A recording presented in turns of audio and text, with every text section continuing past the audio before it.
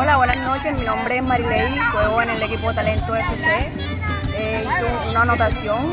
El partido estuvo súper interesante, aunque hubo varios choques.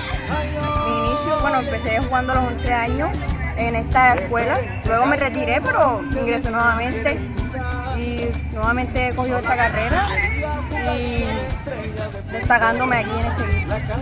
Quiero agradecer al profesor Evilson Torres Casiani que nos ha inculcado esto más que todo, ha sido nuestro técnico.